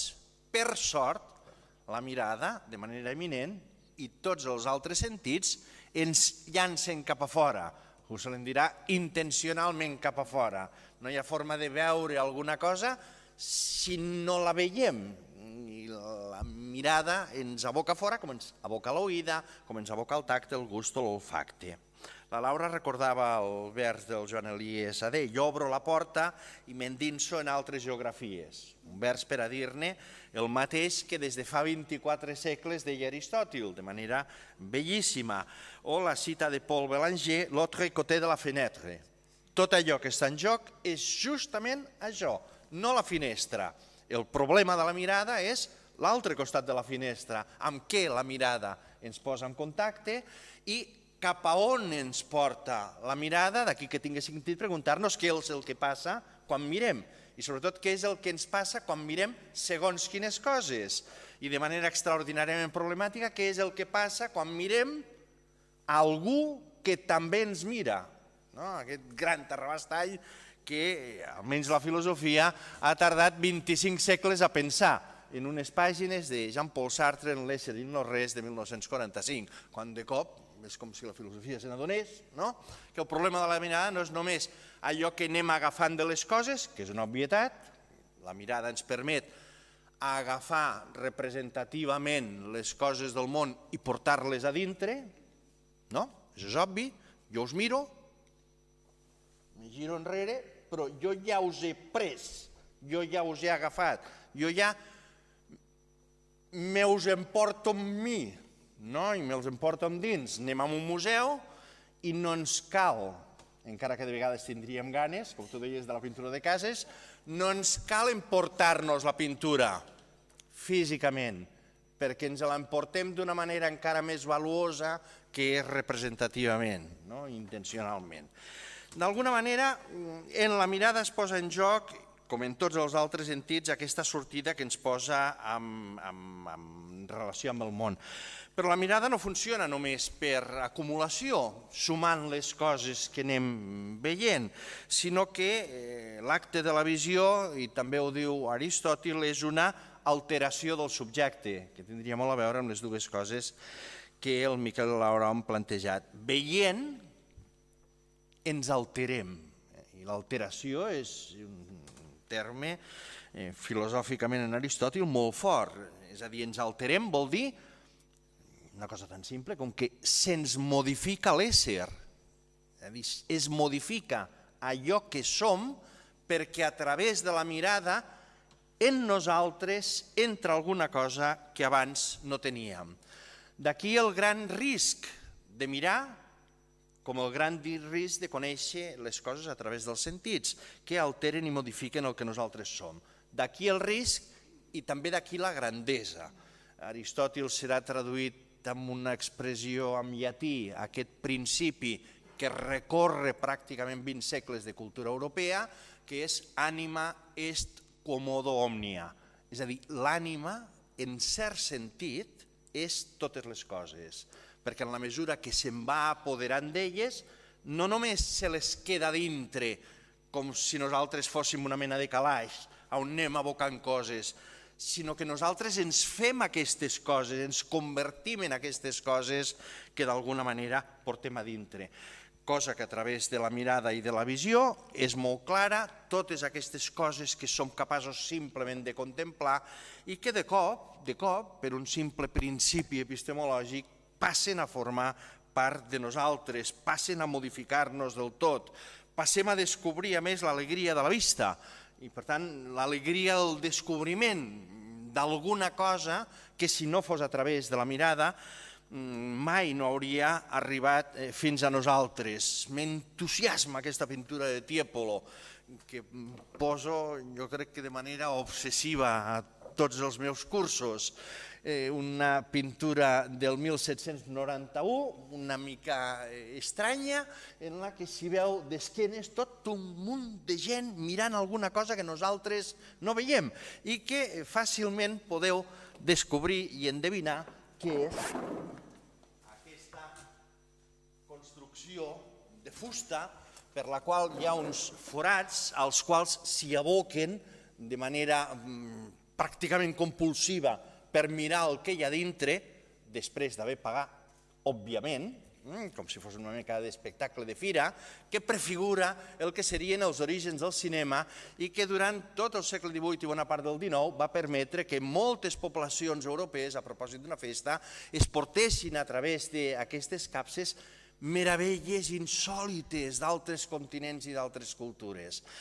No hi ha pintura que representi més bé per a mi el que seria l'espectacle de la visualitat, és a dir, la visualitat digna de ser mirada, digna de provocar fascinació i digna de descobrir-nos tot allò que d'alguna manera comporta. Allò que val per a la mirada i per a l'art, per a la fotografia o per al cinema, val per a l'escolta, val per a la música i per suposat val de manera molt eminent per a la lectura i amb tot allò que la literatura i la lectura ens, ens comporta. André Cartés, que és un dels més grans fotògrafs del segle XX, va estar obsessionat durant més de mig segle, durant 55 anys, per ser exactes, fotografiant imatges com aquestes que esteu veient. Personatges absolutament eh, arrencats del món, podríem dir-ne, capbussats dintre del que és l'exercici de la lectura. La lectura es desplega d'una altra manera, amb una complexitat diferent, allò que abans dèiem de l'acte simplement de la mirada. L'acte de la lectura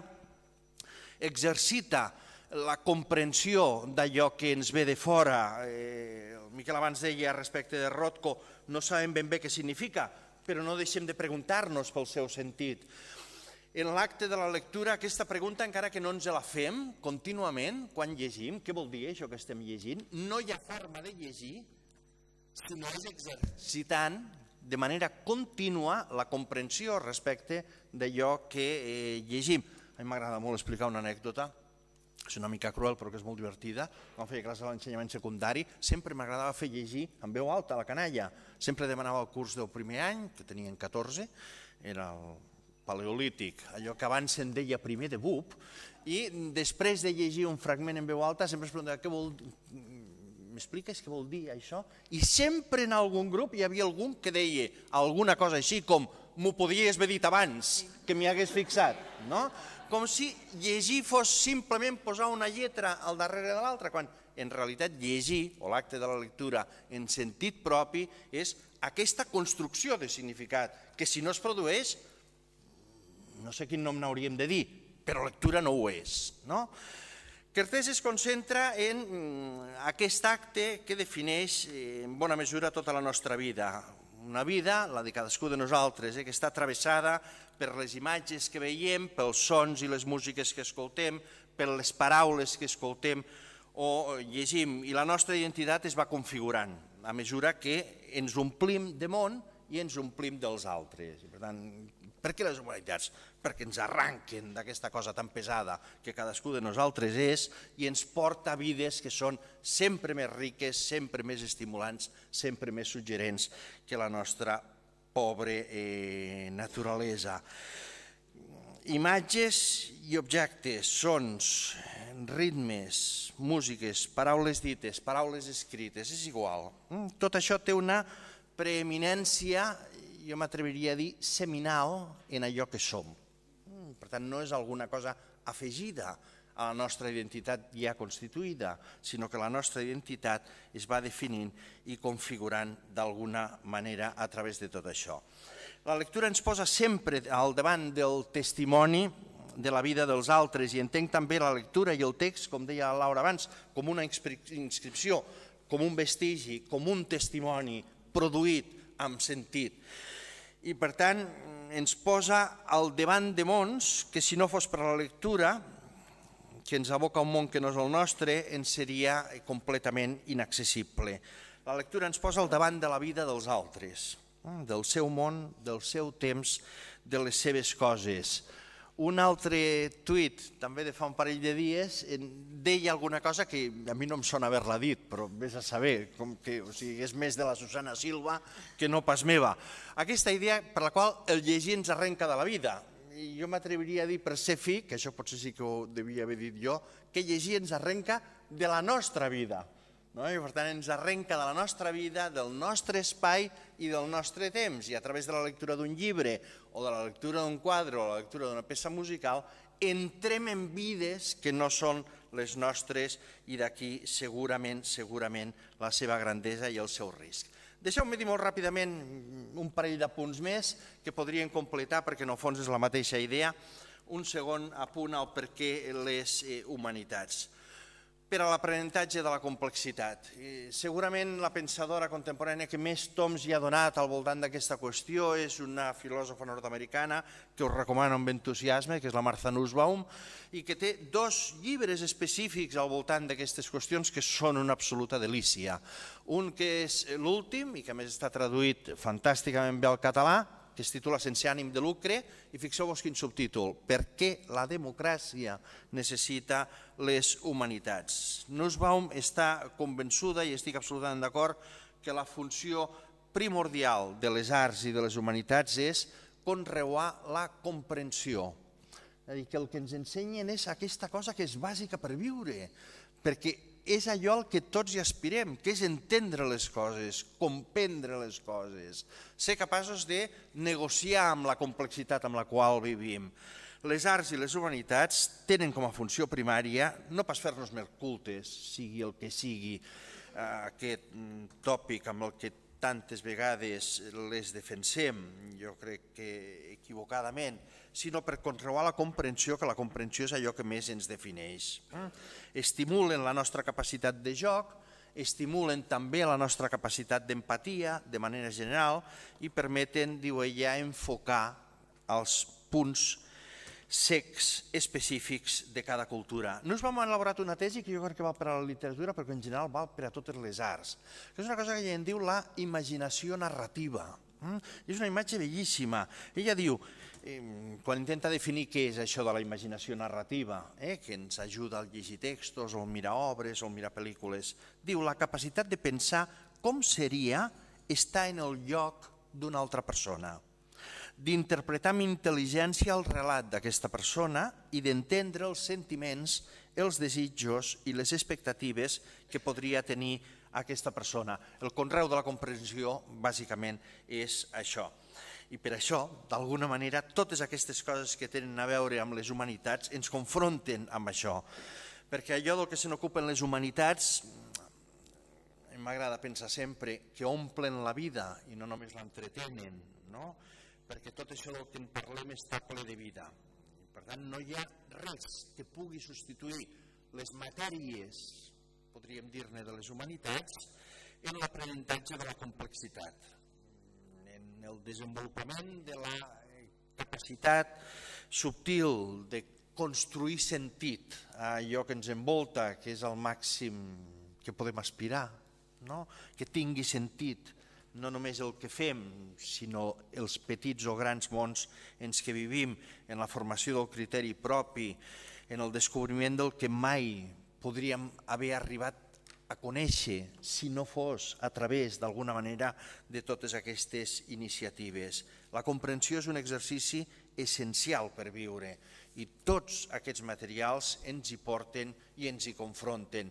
No hi ha temps perdut amb totes aquestes coses, no hi ha esforç malaguanyat, no hi ha minuts sense sentit, perquè cada un dels esforços que ens confronta amb alguna cosa el sentit de la qual encara no tenim, ens complica la vida, en el millor sentit. No? És a dir, ens la fa més complicada, ens la fa més articulada, ens la obliga a ser més refinada. I últim punt, i només eh, pràcticament l'esmentaré. Per què les humanitats? Per què totes aquestes coses de la literatura a la història? per responsabilitat, per responsabilitat, que és d'aquestes paraules com tots eh, els conceptes ètics que fa una mica de fresa sempre de tornar-los a posar en qualsevol discussió, però que continuen sent paraules molt fortes, per responsabilitat, per deure d'una altra paraula, al meu entendre, no només menys tinguda, sinó que passa educativament per mals moments, que és per responsabilitat i per deure amb la transmissió. És a dir, amb la consciència que som dipositaris d'un llegat de segles que no ens podem permetre el luxe de malmetre. Mm? I no només per preservar-lo de manera momificada, sinó per rescatar-ne la vida, per pensar en la seva utilitat, per pensar en què és el que avui totes aquestes coses continuen dient-nos. Deixeu-me acabar amb un còmic eh, que utilitzo també sempre a les meves sessions, que em sembla una metàfora poderosíssima d'aquest últim apunt. És un còmic de Nicolás de Creixí que es diu, es titula Període glaciar, en el que es tracta de la història d'uns personatges estranys, sobrevivents d'una glaciació que es passegen pel planeta sense trobar ni restes de la nostra humanitat. Res, ni ciutats, ni pobles, ni camins, ni autopistes, ni cases, ni catedrals, ni palaus. Res, només com veieu, esplanades il·limitades, eh, cobertes de neu i de gel sense cap presència humana ni cap rastre de civilització que hagués existit. De sobte, però, a la pàgina tercera, com veieu aquí, un desplaçament de plaques gelades fa emergir el que nosaltres reconeixem com una cúpula, ho podeu veure aquí a la dreta, tot i que a ells només els provoca estupefacció perquè mai no havien vist res de semblant. Vosaltres ja endevineu que aquesta cúpula és la de l'antic Palau Reial, que actualment hostatja les col·leccions del Louvre, del Museu del Louvre. Però aquests personatges, òbviament, no ho saben. I quan entren, quan franquegen la porta i entren a les sales, comencen a descobrir unes coses molt estranyes. Imatges que no saben ni el que són ni el que representen, però que són per amb ells vestigis d'una antiga civilització, la nostra, pobrets. Mm? I és clar, comencen a fer-se preguntes. Potser la gent era com apareixia aquí? Perquè si és així, diu, tampoc no eren tan diferents de nosaltres, jo m'hi assemblo. No? Eh, es pregunten si les imatges els diuen com era la gent, es pregunten perquè no ho saben qui feia aquestes imatges, i troben algunes pintures, segur que la coneixeu, que semblen insinuar que els animals també les feien, i s'estranyen, s'estranyen. Com pot ser que visquessin només amb imatges, que no tenien llenguatge per parlar-ne ni per comunicar-se? Quins sapastres o que primitius que devien, que devien ser.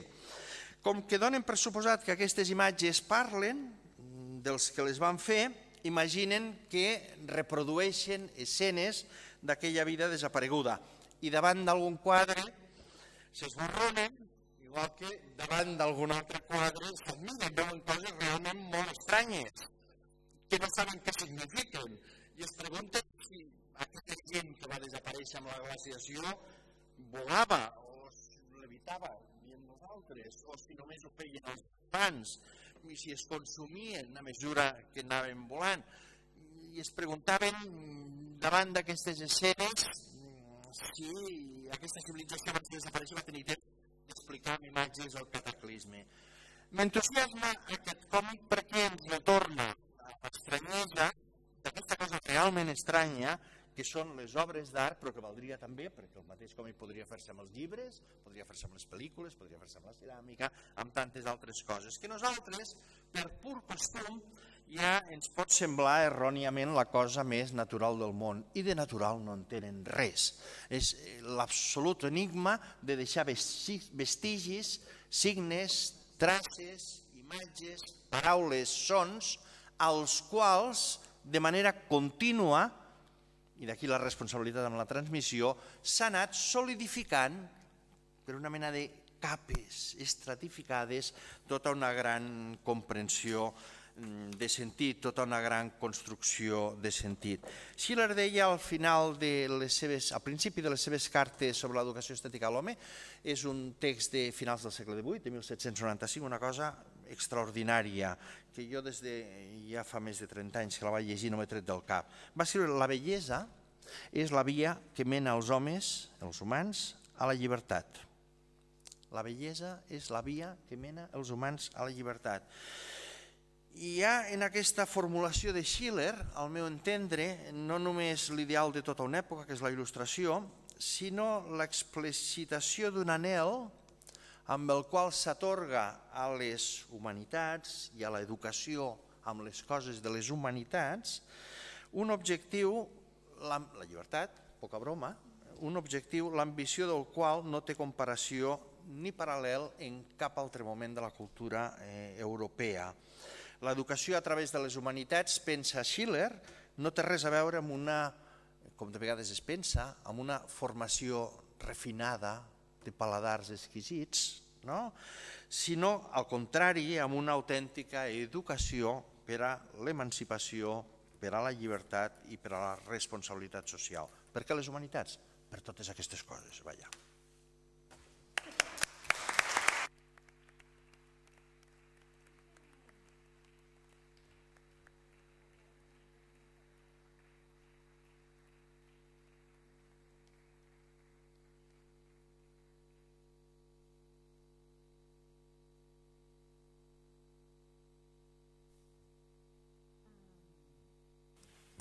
Deu minuts, ens diu la Mèrius. Sí, hem sorpassat tot el... És que era un experiment, ja ho hem dit al començament, que era un experiment.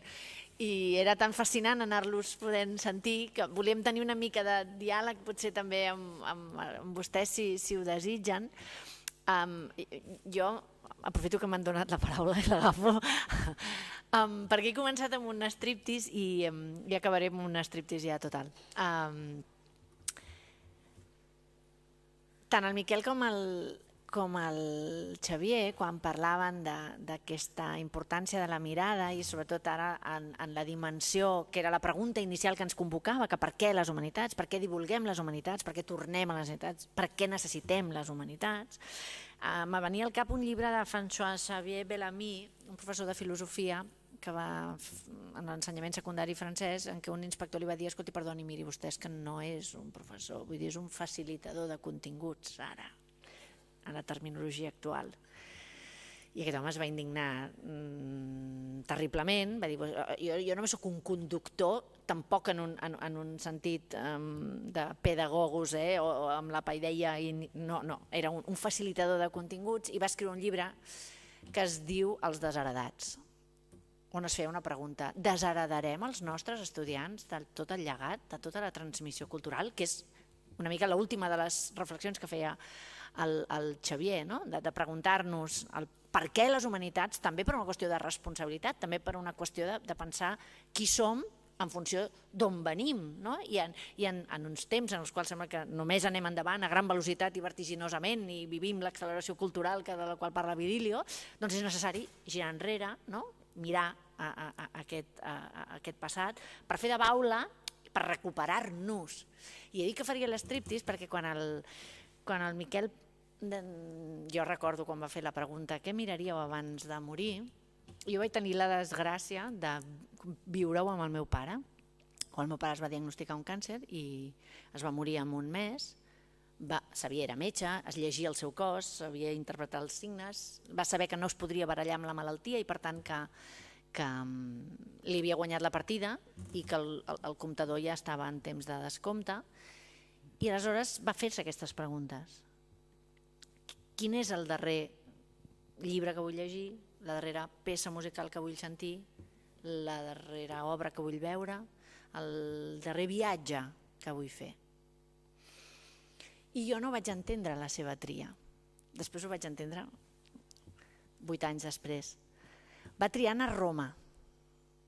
I, I a mi em va caldre haver d'anar a Roma un altre cop per entendre la seva tria. Perquè va triar anar a Roma, perquè a Roma tens una sensació d'història, de viure la història, de trepitjar la història, de trobar-te els estrats no? des, de, des del món eh, romà no? i de, de, de formar part d'allò. I alhora és el, un dels museus més fabulosos de, de, de, del planeta Terra. I, I per tant era aquest passat, era allò que som en una dimensió, si volem, més antropològica o històrica, de, de cadena de transmissió, però alhora també per ser aquest gran museu, allò que hem creat, no, no només allò d'on venim, sinó allò que deixem quan deixem de ser en aquest món, no? quan deixem de ser-hi. I aleshores vaig entendre per què triava Roma per fer aquest comiat de la vida perquè és quan el moment en què tu necessites buscar segurament un últim sentit, quan tens 65 anys, ja et sents a la plenitud de la vida i dir tinc la millor partida de cartes a les mans i ara em fan plegar no? de la timba de pòquer. i va decidir fer això, que era una suma de tot, i jo vaig entendre aleshores, ell que era metge però era un gran humanista i que és qui de fet ha inculcat en mi l'amor per l'art, qui m'ha ensenyat a llegir, a mirar, a sentir, a pensar, en el fons, vaig entendre la tria de Roma com aquest um, voler-se endur la humanitat amb la mirada. I, i és, és, és una dimensió d'agafar una cosa que se te'n va de les mans, que és la vida, i intentar mantenir-la, retenir-la a través de, de la mirada, en allò que ets, que hem sigut tots, i en allò que hem creat i que també ens defineix. I en la nostra idealitat de pensar en un segon torn d'intervencions, jo havia deixat això a les portes d'una mirada encara, una última mirada, perquè a vegades faig servir la metàfora de que els clàssics, pensant en els clàssics, en els clàssics literaris, però serveixen tots, eh? estem d'acord aquí en que tot serveix, és um, segurament un gest de, de, de, en aquest món així tan, tan uh, veloç en el qual vivim és un senyal de màxima lentitud, no? Tornar a mirar allò que, aquells que ens han precedit i que encara dialoguen amb nosaltres, ens interpel·len, com deia abans el Miquel, perquè ens continuen dient qui som, perquè som, som diferents de com érem abans d'haver llegit aquests textos en diversos moments de la nostra vida. I la dona de Lot, que és un episodi de la Bíblia, jo col·lecciono dones lectores, com Kertés, ell fa fotografies, jo col·lecciono quadres de dones lectores, però també col·lecciono dones de Lot. La dona de Lot és la que gira i és severament castigada per girar-se a mirar allà d'on ve i allà on deixa allò que ha estat. No? Doncs, eh, ella se salva amb, dues filles, però tota la seva vida queda a, a Sodoma i Gomorra, d'on ells eh, fugen perquè han estat perdonats.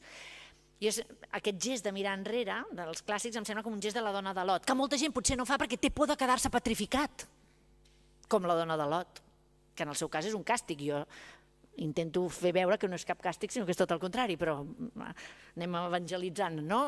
amb, amb aquesta paraula. Hi ha eh, diverses autores contemporanis que han rellegit la història d'aquest episodi del Gènesi. I ho passo molt ràpidament perquè l'Anna la, la, Akhmatova, que és una d'aquestes autores que rellegeix el llibre del Gènesi i que a través de la traducció que en fan la Maria Mercè Marçal i la... Mm,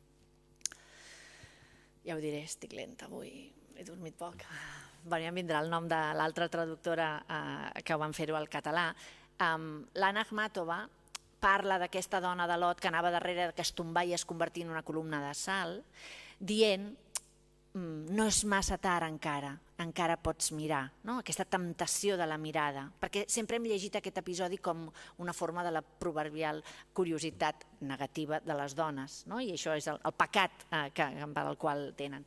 Les imbors que imagina diversos escenaris en els quals la dona de Lot, per la, pels quals es hagués pogut girar, eh? i per tant dona veu a la qui no té veu. Però la Marsal, que reprèn el, el tema, o Lodobovsky, que mm, reivindica aquest girar-se com un monument d'amor a allò que deixa, allò que s'està oblidant. I fixeu-vos l'últim vers, quan diu, l'última eh, estrofa, quan diu desconfieu de les sentències condemnatòries. I és interessant que sigui un home qui ho digui això. Realment aquesta dona és digna de ser envejada. Va salvar la seva ciutat per a ella, abans que hi caigués un terbolí de ferro i sofre. Va salvar la ciutat per a ella, en la mirada, aquest salvar-nos també que dèiem, no? de que ens emportem també de la, de la mirada. Pregueu per una mort igual de vella, una mort pel preu d'una última mirada. Aquest contravenir el que és la, la tradició que la castiga, aquí Lodobovsky diu, no, ella salva la ciutat, la salva momentàniament perquè ella mora. Hi ha una autora anglesa, Christine Batey, que ens explica per què gira la dona de Lot. I diu, és molt fàcil pels ulls que sempre han mirat cap al cel no girar-se enrere. Però els que han crescut a la terra no poden oblidar-se que la vida es viu dia a dia.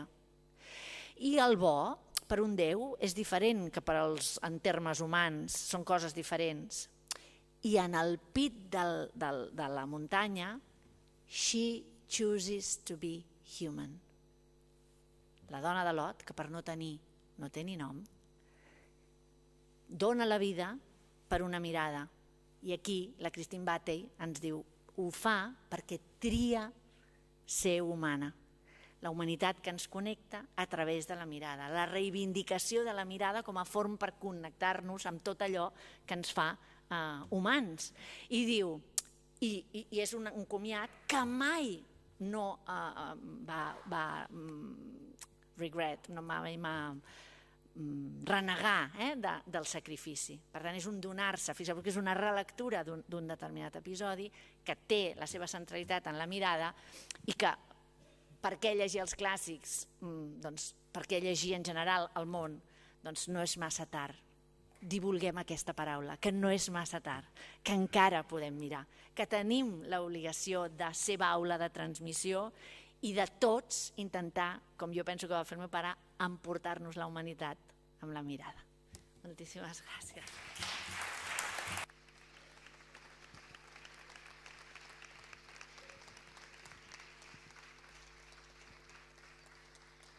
Feu, feu també vosaltres? És que no sé si va això. No, la idea seria fer, feu 5 minuts, si us sembla, eh? Eh, cada un, perquè tenen dret de fer-ho, i si voleu les preguntes les podeu fer a la xarxa, perquè aquesta gent estan connectats dia i nit, sí? I així també ens acabem d'aprofitar de... Jo amb el final de la Laura, si algú vol fer preguntes, crec que podríem donar pas al públic. Eh? Jo sóc partidari, sí, és que ha sigut un gran final.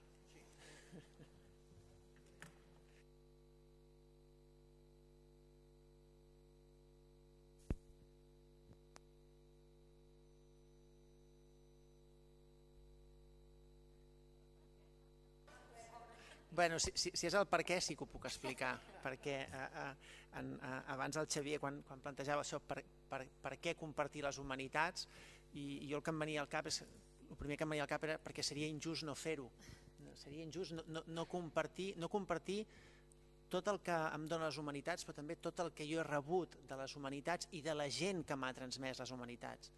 Jo, jo no, no estaria avui aquí si no hagués tingut un professor de literatura que em va descobrir la, la lectura, perquè jo ja sabia que existien els llibres, els havia vist i els llibres existien, però, però de cop, a partir d'aquell professor, que precisament ens feia llegir en veu alta, com, com, feia, com també feia el Xavier, vaig entrar en, en, en la lectura i en, i en la literatura.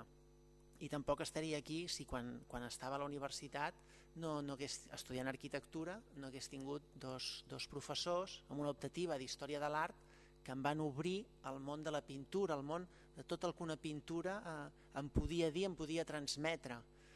Per culpa d'aquella assignatura jo vaig deixar la carrera d'arquitectura i vaig venir precisament aquí, a la Facultat d'Història de, de l'Art, aquí a la Universitat de Girona, i, i aquí vaig tenir el Xavier de, de professor, que, que gràcies o, o, o per culpa d'ell també vaig descobrir que podíem anar més enllà de, del simple coneixement aquest històric de quin any s'havia fet l'obra, la vida del pintor, totes aquestes dades que sí que són interessants, però de cop el Xavier ens va, recordo perfectament que ens va fer fer una comparació a classe, de comparar, de fer una lectura comparada entre un text literari i, i una obra d'art.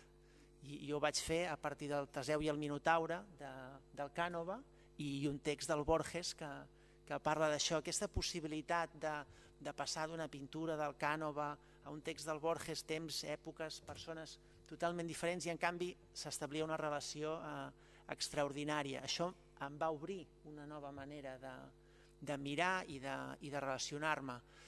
Què faig jo a Twitter? Jo en realitat a Twitter no faig res eh, especial ni, ni novedós. Eh, L'única novetat pot ser el mitjà. Jo el que faig a Twitter és compartir, transmetre allò, aquella passió que jo vaig viure a, a, les classes, que jo vaig viure a, les classes d'història de l'art, a les classes quan estudiava arquitectura o a, la, o a les classes de literatura a, a l'institut.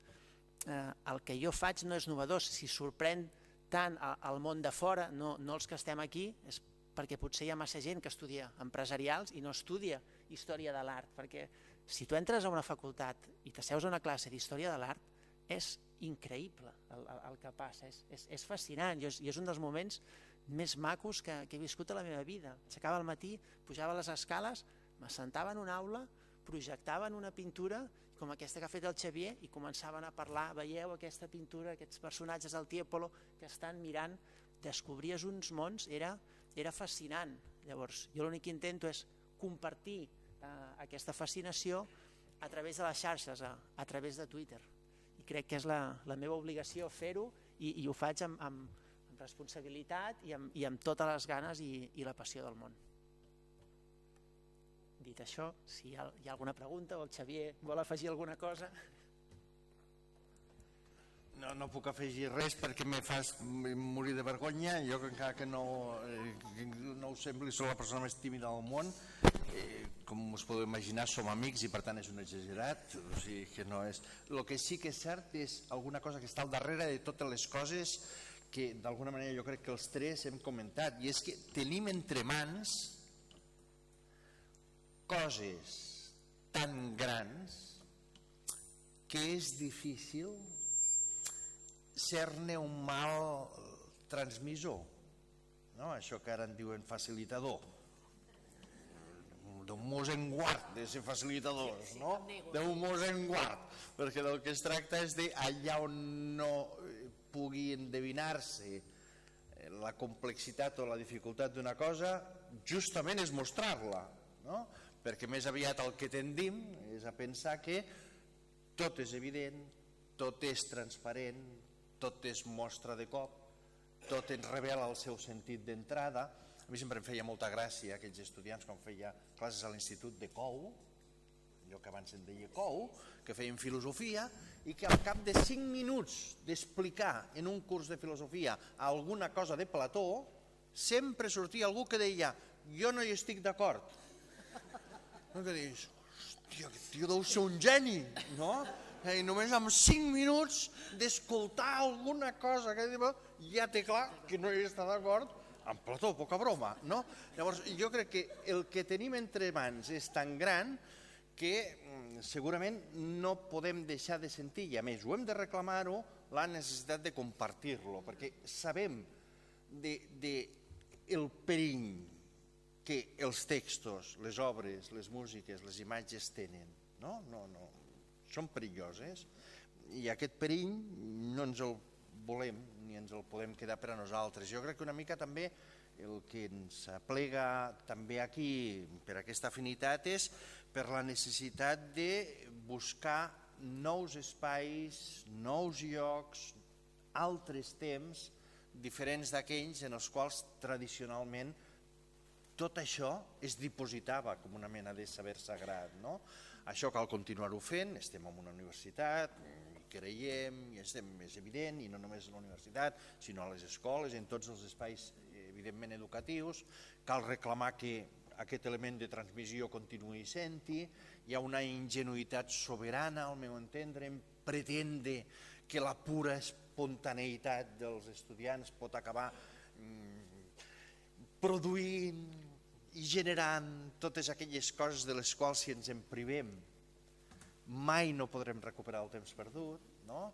i per tant una mica eh, el, el recuperar jo crec, el reclamar i el reivindicar la necessitat d'això eh, en els espais educatius, però en tots aquests altres espais que efectivament Mm, el que fa el Miquel amb el mirar l'art a Twitter, els que no ho coneixeu, us heu d'obrir un compte de Twitter només per seguir-lo. És una cosa absolutament sorprenent, no?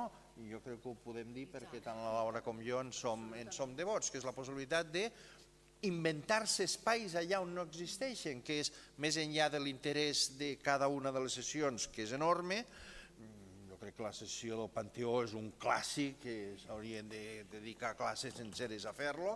Més enllà de l'interès dels continguts és el dispositiu, és a dir, com podem inventar-nos espais més enllà d'aquesta cosa tan ploramiques de l'àmbit del nostre gremi, que és lo malament que està l'ensenyament, lo malament que està l'educació, lo malament que està la universitat. No, malament, malament està el món, però el món està malament des de que va ser parit, no? Hi ha alguna cosa mal posada de sempre, i si a sobre de tant en tant s'empeny perquè pugui estar una mica pitjor, no hi ha dubte que s'empeny perquè estigui pitjor, però les coses són com són, no? I per tant jo crec que aquesta necessitat de trobar mm, benvingudes les noves tecnologies, benvingudes les xarxes diverses que entrin per multiplicar aquestes coses.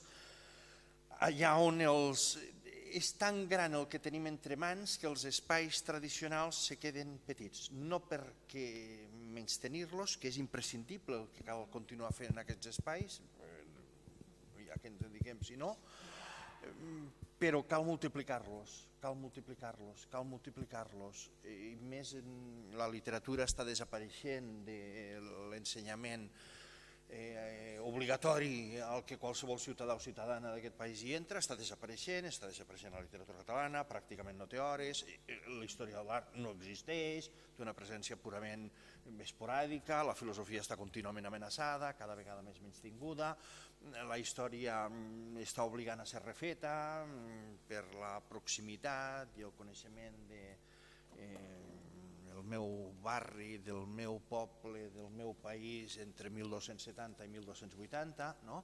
Per tant, jo crec que cal continuar una mica creant espais allà on no n'hi hagi. No? I per això és tan admirable el que fa el Miquel i així aprofitem per dir-ho en públic perquè és veritat. No?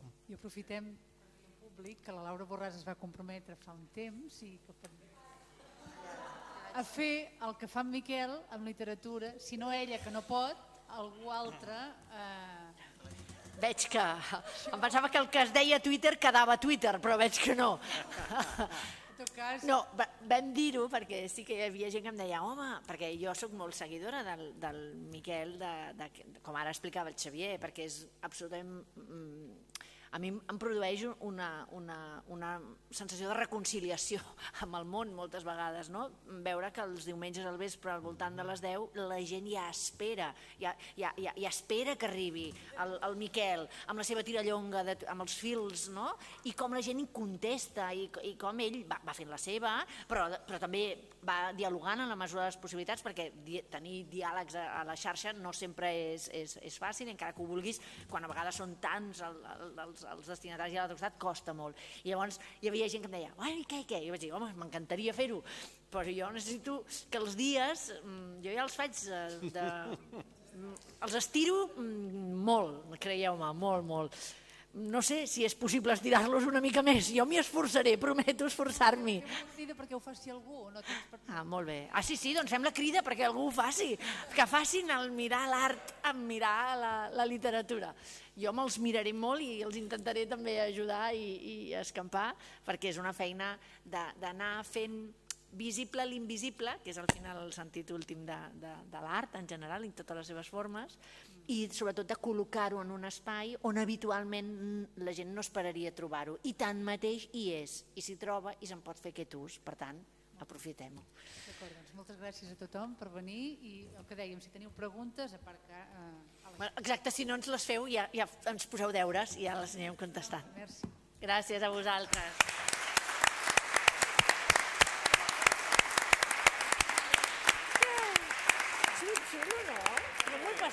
Sí, xulo, no? Jo m'ho